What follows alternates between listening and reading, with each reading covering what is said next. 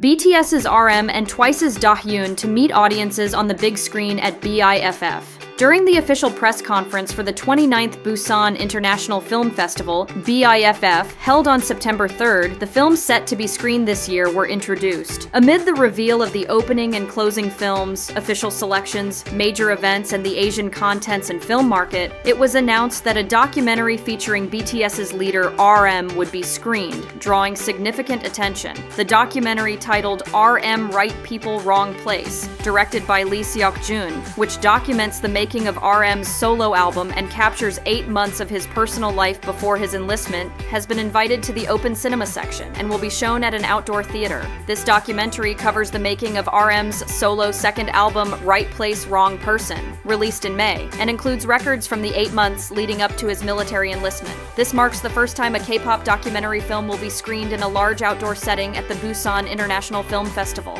The release still cuts from the film show RM in a free spirited atmosphere, capturing the the audience's attention, the festival offers fans a special chance to see RM, who is currently serving in the military since his enlistment last December, on the big screen at an outdoor theater, adding to the anticipation. This is only the second time that a documentary will be screened in the open cinema section of the Busan International Film Festival. The festival organizers stated that the documentary is designed to be enjoyable, not just for fans, but for general audiences as well. Although RM will not be able to attend the festival due to his military service, the director and other cast members are expected to make an appearance to greet the audience. Twice's Dahyun has also been officially invited to the Busan International Film Festival with her acting debut film You Are the Apple of My Eye, directed by Jo Young Myung. The film, which has been invited to the Korean Cinema Today Panorama section, depicts the blossoming emotions of a bright youth romance between the school's problem child and the model student assigned to monitor him. Dahyun's casting in the film was previously reported exclusively by Xports News. This film is a remake of the popular Taiwanese movie You Are the apple of my eye, and in it, Dahyun shares the screen with singer-actor Jin Young, portraying the vibrant and youthful spirit of their characters.